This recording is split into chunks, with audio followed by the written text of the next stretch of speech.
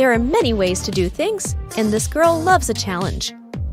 She saw a drain cover on the street and thought of making a silicone mold of it. With that mold, she created a lid with liquid plastic. Later, she spray painted it in a bright color. With a sponge, she gave it some black touches. She also cut a piece of wood, which will function as one of the main parts of the structure she is creating. She burned the wood to make it look rustic. She filled the cracks with epoxy resin and polished the surface very well. She screwed four rods into each corner of the wooden square and placed the plastic lid on top. This ingenious woman made a really handcrafted and creative DIY drying rack. I didn't expect it, did you? This creative DIY drying rack is not only functional, but it is also a beautiful piece of art.